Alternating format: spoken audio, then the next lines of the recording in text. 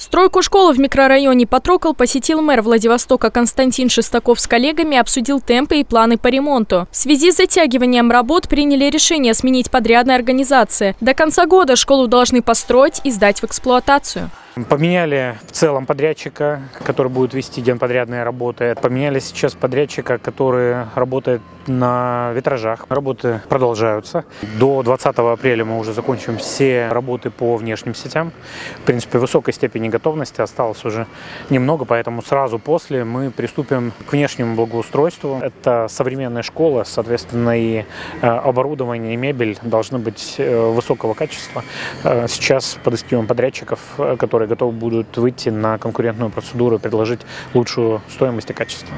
Строящаяся школа будет рассчитана на 1275 учащихся.